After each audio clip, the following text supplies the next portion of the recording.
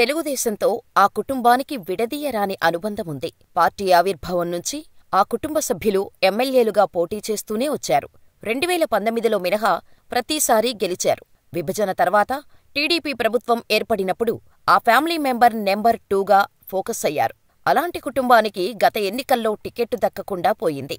పోనీ పార్టీ గెలిచింది. ప్రాధాన్యత దక్కుతుందని అనుకుంటే అది కూడా లేకుండా పోయింది. ఇంతకీ ఎవరా మాజీ మంత్రి? పార్టీ ఒక్కసారిగా ఆయనకు ప్రియారిటీ తగ్గించటానికి కారణమేంటి? సదరు నేతని ఎవరైనా పర్సనల్గా తీసుకుని తొక్కేశారా?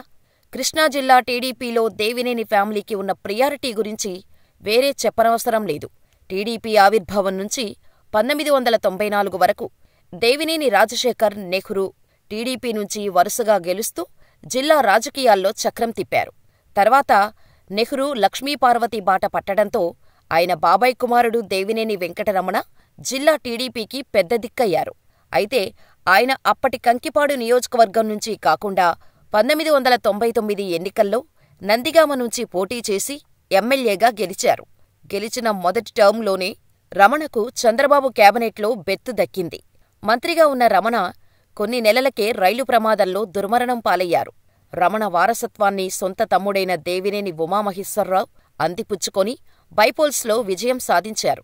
తర్వాత రెండువేల నాలుగు, రెండువేల తొమ్మిది, రెండువేల పద్నాలుగు ఎన్నికల్లో వరుసగా గెలిచిన దేవినేని ఉమాకి రాష్ట్ర విభజన తర్వాత జలవనరుల శాఖ కట్టబెట్టి చంద్రబాబు తగు ప్రాధాన్యత ఇచ్చారు. అప్పట్లో పోలవరం ప్రాజెక్టు పనులను పరుగులు పెట్టిస్తూ ఉమా పార్టీలో కీలకంగా ఎదిగారు. జిల్లాలో ఎక్కడ పార్టీ కార్యక్రమం జరిగినా ఆయన ఉండాల్సిందే అన్నట్టు చలాయించారు. అప్పట్లో దేవినేని ఉమాకు కృష్ణాజిల్లా సీఎం అన్న ట్యాగ్లైన్ ఉండేదంటే పరిస్థితి అర్థం చేసుకోవచ్చు. రెండువేల పంతొమ్మిది ఎన్నికల్లో దేవినేని ఉమా తొలిసారి పరాజయం పాలైనప్పటికీ ఆయనకు పార్టీలో చంద్రబాబు మంచి ప్రాధాన్యతే ఇచ్చారు. సబ్జెక్టుపై పట్టున్న దేవినేని ఏ ఇష్యూ దొరికినా వైసీపీని, అప్పటి సీఎం జగన్ని ఎండగట్టటంలో ముందుండేవారు. ఆ దూకుడు చూస్తూ టీడీపీ మళ్ళీ అధికారంలోకి వస్తే ఇరిగేషన్ శాఖ ఆయనకే ఖరారవుతుందని, జిల్లా రాజకీయాల్లో మళ్ళీ దేవినేని శకం మొదలవుతుందని అందరూ భావించారు. అయితే గత ఎన్నికల్లో ఉమాకి అసలు టికెట్టే దక్కలేదు. అంతకుముందు మైలవరంలో ఉమాపై వైసీపీ నుంచి గెలిచి టీడీపీలో చేరిన వసంత కృష్ణప్రసాద్ టిక్కెట్టు ఎగరేసుకుని పోయారు. మొదట్లో దేవినేని దాన్ని వ్యతిరేకించినా తర్వాత చంద్రబాబు బుజ్జగింపులతో సైలెంటయ్యారు. అప్పట్లో పార్టీ అధిష్టానం నుంచి ఉమాకి ఏదో స్పష్టమైన హామీ లభించిందన్న ప్రచారం జరిగింది. తెలుగుదేశం పార్టీ సీనియర్ నేతల్లో చంద్రబాబుకు అత్యంత సన్నిహితంగా ఉండేవారిలో దేవినేని ఉమా ఒకరన్న పేరుంది.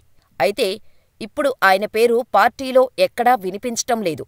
వాస్తవానికి రెండువేల పంతొమ్మిది ఎన్నికల్లో ఓటమి తర్వాత దేవినేనికి గడ్డు పరిస్థితులు ఎదురయ్యాయి.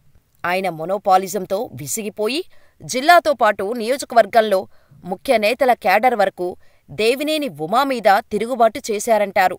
ఈసారి ఉమాకు టికెట్ ఇవ్వటానికి వీల్లేదని పార్టీ ఐవీఆర్ఎస్ సర్వేలో తేల్చి చెప్పారట. అందుకే చంద్రబాబు ఆయనకు నచ్చచెప్పి పక్కన పెట్టారన్న టాక్ నడిచింది. ఇటీవల కాలంలో కొన్ని నామినేటెడ్ పోస్టుల పంపిణీ జరిగింది. వాటిలో ఎక్కడా కూడా ఉమా పేరు కనిపించలేదు. ఉమ్మడి గుంటూరు, కృష్ణా జిల్లాల పట్టభద్రులు ఎమ్మెల్సీ అభ్యర్థిగా ఒక దశలో ఉమా పేరు కూడా తెరపైకి వచ్చింది. సడన్గా మరో మాజీ మంత్రి ఆలపాటి రాజాకి టికెట్టు కేటాయించారు. బుడమేరు గండి పూడ్చివేత, కృష్ణానది బోటు ప్రమాద ఘటనలప్పుడు దేవినేని ఉమా మంత్రి నిమ్మల వెంట ఉండి తన అనుభవంతో ఇరిగేషన్ శాఖ సిబ్బందిని గైడ్ చేస్తూ పెద్ద దిక్కుగా వ్యవహరించారు. అయినా ఆయనకు ప్రభుత్వపరంగా ఎలాంటి ప్రాధాన్యత దక్కటం లేదు దానికి కారణం హిందూపురం హ్యాట్రిక్ హీరో నందమూరి బాలకృష్ణే అంటున్నారు. రెండువేల పద్నాలుగు నుంచి పంతొమ్మిది వరకు మంత్రిగా ఉన్న ఉమా ప్రభుత్వపరంగా అనేక నిర్ణయాలు లోకేష్ పేరు చెప్పి తీసుకున్నారట. అనేక అంశాల్లో లోకేష్ పేరును రికార్డుల్లో పెట్టారంట. ఒక దశలో లోకేష్ విషయంలో వైసీపీ పతాక స్థాయిలో విమర్శలు చేయటానికి కారణం ఉమా వైఖరే అని బాలయ్యకు తెలిసిందట. ఉమాతో పాటు ఒకరిద్దరు నేతలు కలిసి లోకేష్కు అవినీతి మరకంటించారని, ఉమాపై బాలకృష్ణ ఆగ్రహం కూడా వ్యక్తం చేశారంటున్నారు. ఆ క్రమంలో రెండువేల పంతొమ్మిది ఎన్నికల తర్వాత పెద్దగా ఆ అంశాన్ని పట్టించుకోని బాలయ్య ఎన్నికలు దగ్గరపడే టైంకి ఉమాపై ఫోకస్ పెట్టి ఉమాకు టికెట్టు దక్కకుండా చేశారట. ప్రభుత్వ ఏర్పాటు తర్వాత కూడా ఎలాంటి ప్రాధాన్యత లేకుండా చేస్తున్నారట అయితే ఎవరు ఎన్ని అనుకున్నా తాను చంద్రబాబుకి అనుంగ శిష్యుడినని, చంద్రబాబు కోసం తాను ఏమైనా చేస్తానని, బాబు ఖచ్చితంగా నాకు న్యాయం చేస్తారని ఉమా నమ్మకంతో ఉన్నారట. మున్ముందు నామినేటెడ్ పోస్టుల విషయంలో, లేకపోతే ఇంకో రకంగానో బుమాకి న్యాయం జరుగుతుందని ఆయన సన్నిహితులు అంటున్నారు. నీటిపారుదల శాఖ సలహాదారుగా బుమాను నియమిస్తారన్న టాక్ కూడా నడుస్తోంది. మరి చూడాలి బుమా లక్ ఎలా ఉంటుందో!